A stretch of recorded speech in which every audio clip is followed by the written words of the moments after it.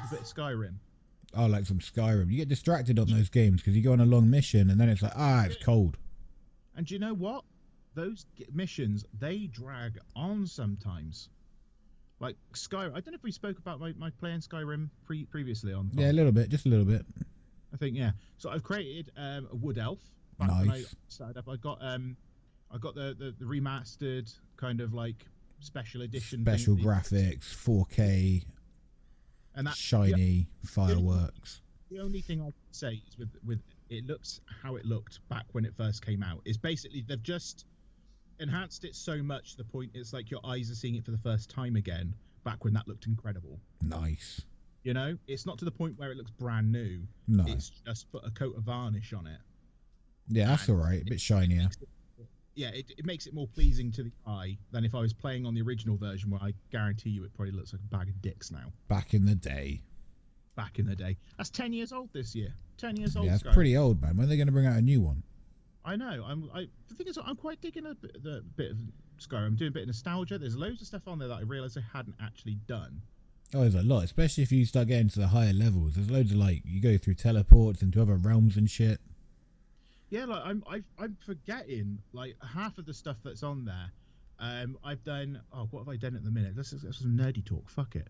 Um, I went. I've done all the. Th- actually, I haven't done all the thieves guild. The thieves guild in the the little kind of like uh sewer that you live. Yeah, yeah. I think that was the first thing I did.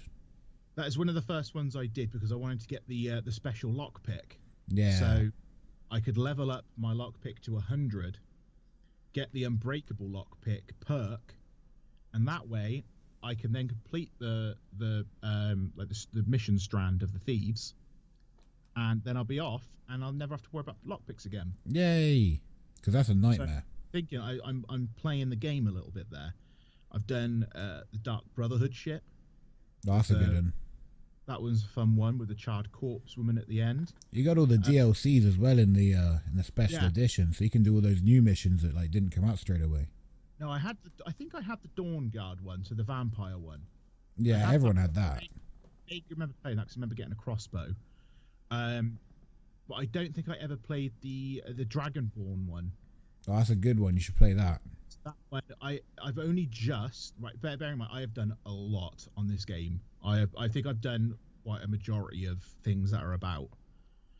Um, and I don't do the main quest because I don't want to faff around with the dragons for ages. Yeah, fuck the dragons, man. Dragons Think are bullshit. The plan head to get the bulk done, then faff with the dragons, and then I'll start to do that stuff as well. Job done. So, just killed my first dragon Well done. and absorbed its soul into my paws. Oh, now you can do a shout. Oh, I know. So uh, what I want to do is go find a giant and just shout at him right in his penis direction, and Ugh. just watch him just crumble Yeah, stupid giant. with that amount of unrelenting force. So I'm shouting unrelenting force into his uh, crotchal region. Yeah, he's not gonna like that. He's not going to enjoy it at all. It's going to do some serious damage and probably make him infertile. That's that's that's the way to go about taking down a giant. Is you just want to unrelenting force shout at their crotch. people keep sh- moaning about the dragons in the game. Why not just make them all infertile so they can't reproduce anymore? No more dragons. Uh, giants. Oh, giants. It's giants. Or dragons. dragons. I've only killed one yet. I haven't dealt with the rest of them yet. Nah, they'll die. going to be a whole to do with Yeah, these dragons. it's a nightmare with the dragons. So I killed that one pretty easy though. Like I did like proper like frig it up. Yeah, it's a bit of a pussy. There's tougher ones though. They they get tougher. They do get. I'm assuming it, it is. I you know being I'm level like 43 or four at the minute. Pussy. So uh, leveling up, doing my thing. Doing some with sneaking. You do do you do magic? Or you got one handed? You two handed? I've got, I've got a blade, the blade of woe that I got from the uh, um, the, the, assassin people. Uh, Whoa. what they're called, the uh, Dark Brotherhood. Was on about him. yeah, the uh, assassinators. Special blade because it does like ex- extra damage. It takes ten points of health or something like that. Mm, nice. Um, and then I've got like now I've got I was having flames, but I've got just got an adept uh, magic, uh, which is like chain lightning, so it just goes around freaking everybody. oh yeah, I love chain lightning. You feel like fucking the Emperor Darth. Pal- Yes, Emperor Palpatine. do it. so uh, yeah, I, I'm doing that in a minute. I've got my little wood elf. Um, I named him. Uh, I look. I googled um, elvish names. Oh, googled Elvis names. Elvish names. I thought let's go traditional with this. That's a bit of fun. So his full name is Rasdorthian. That's a great name. Do you know what it Rastorfian. tran- do you know what it translates to? Tell me. Clive.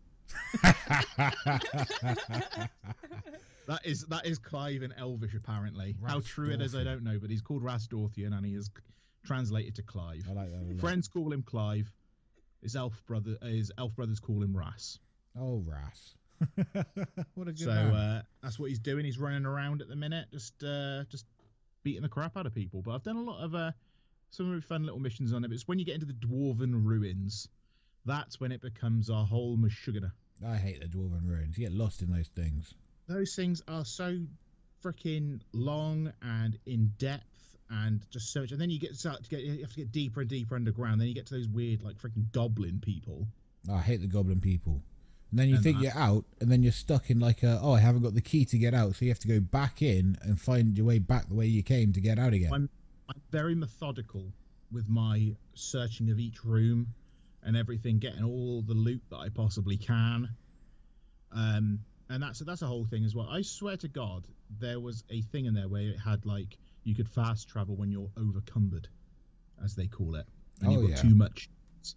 Now I don't know if I'm getting myself maybe muddled with Fallout 4, oh, the Fallout.